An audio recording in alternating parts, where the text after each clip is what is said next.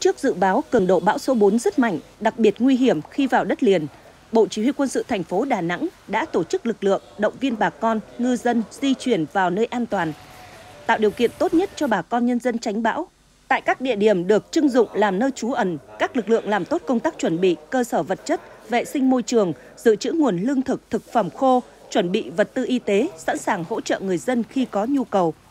Đối với hộ dân ở các khu nhà tập thể, nguy cơ bị tốc mái đổ sập, Bộ Chỉ huy quân sự thành phố tổ chức di rời đến nơi an toàn, hạn chế thấp nhất thiệt hại về người.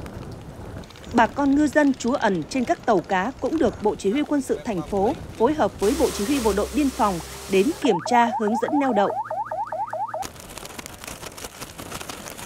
Trong giai đoạn hiện nay thì à, Bộ Chỉ huy phối hợp với Biên phòng đã ra vận động bà con nhân dân trên các tàu đánh cá vận động bà con về trong đất liền, trú ẩn an toàn.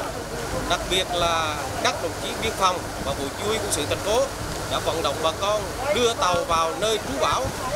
Hiện nay số lượng tàu của bà con nhân dân đã vào nơi trú bão.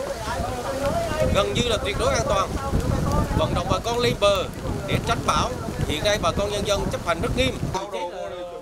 Đến thời điểm này, cơ bản công tác di rời nhân dân phòng tránh bão tại Đà Nẵng đã được cán bộ chiến sĩ, Bộ Chỉ huy Bộ đội Biên phòng và Bộ Chỉ huy Quân sự thành phố triển khai chặt chẽ, giúp bà con nhân dân địa phương đến nơi tránh trú bão an toàn.